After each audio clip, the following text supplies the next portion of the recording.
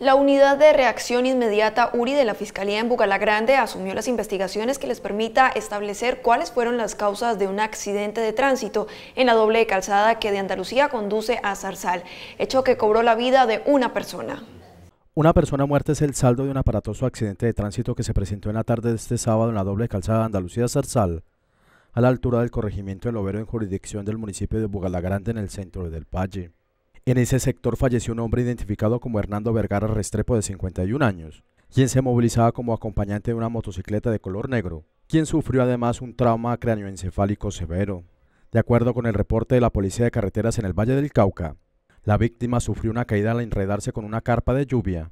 Al caer fue arrollado por un vehículo campero. El vehículo campero cubría la ruta Cali-Medellín, mientras que el cuerpo de la víctima fue trasladado a medicina legal para las diligencias de ley.